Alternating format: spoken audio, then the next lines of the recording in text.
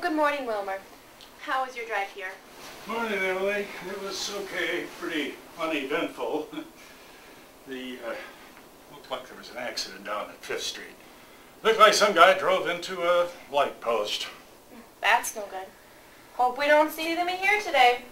Well, you're right. This is a place where visitors are a blessing and a curse. Did my new field and stream come in? I don't know. I um, didn't see it in the mail today, but maybe it came in yesterday. Isn't it on the table? No. Uh, I'll read it next week. It's like I'll catch up on my celebrity gossip. Sorry, Willmer. Uh, the crossword in the paper looked decent today. I left it there for you. Thank you, Emily. I'll do my best.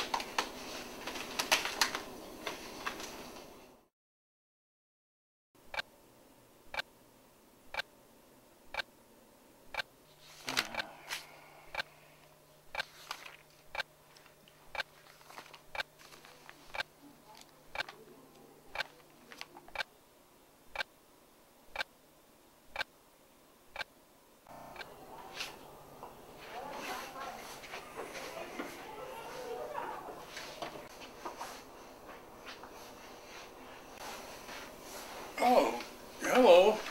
Hi. Oh, that's a nice bike helmet you've got there. Thanks. My dad bought it for me, but I picked it out. Well, I like it. Now, I should use a helmet more often. Protecting that old noggin, that's really important. That's what my dad says, too. Where is your dad? Didn't he come to the doctor with you? No, he's gonna be mad. Oh, why? Well, he told me not to cross the street, but I did. With your bike. Yeah, he said it's too dangerous, and I'm too little. Well, it sounds like your dad really cares about you. You know, this time of the year, those streets get slippery, and that makes them really dangerous. I hope he's not gonna be mad. I think he's going to be happy just knowing you're okay. That knee looks like it hurts a little bit. You know, I know this doctor. He's really good. He's got just the thing to fix you right up. And uh, I know your dad will be out here waiting for you. I hope so. I love my dad, and I hate to see him worried. Why did you cross the street? I saw a dog, and he looked lost. So I wanted to help him. Then I fell. Well, I know exactly what happened. My son would have done exactly the same thing. Yeah, you should meet him sometime. I think you'd be good friends. Louie, the doctor will see you now.